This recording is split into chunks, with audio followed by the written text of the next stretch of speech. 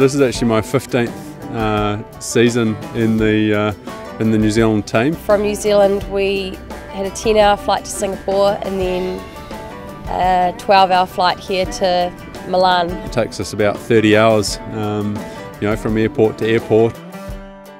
Uh, we've come from a long way. We, we're based in Victoria, BC, in Canada, so west coast. What is that, like 12, 12,000 kilometers maybe, something like this? It's got to be around 8,000 kilometers or something like that. We stay, um, you know, usually for a, a, period of up to three months, so uh, that's what we're here for this year.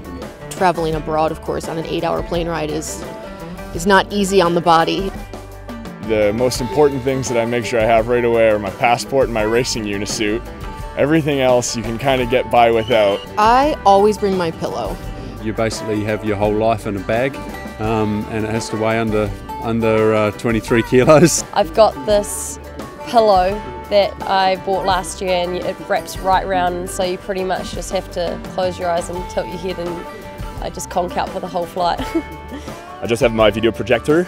I always bring it to me with me. It's a tiny little, little device. I, I need that to just kind of cut with rowing, just do something else. I guess my computer is probably my uh, sort of biggest uh, thing um, because you know that that gives you entertainment. I try and keep it pretty light because I find the more you bring, the more likely you are to have a huge laundry pile growing in the corner of your hotel room. When I'm home, I can do my laundry whatever I want. Here, you're kind of doing your laundry in the bathtub. Probably my top tip is, you know, like unpack your bag. And it sounds like a stupid thing, but, you know, when you unpack your bag and, and you've got your clothes in drawers or, you know, nicely sorted out, it, it does, it makes it feel a bit more at home. Yeah, I love Europe. I always love coming over here. Everything in Europe seems to be moving very quickly, just with the way people are driving around on the roads and moving through the streets. And of course, there's Lucerne and you feel like you're on a Ricola ad. We miss out on the freezing cold of New Zealand, the yeah, the coldest part of winter. There's a church, an old church on an island that you row by, and a castle up on the top of a cliff. It's basically living in this fairy tale. Everywhere you look is like a postcard. I think when I'm going to go to France, I'm just going to enjoy cheese. I miss cheese in Canada. There's something about being in Italy that just makes you want to have espresso. And along with many of the women on the team, love European breakfast.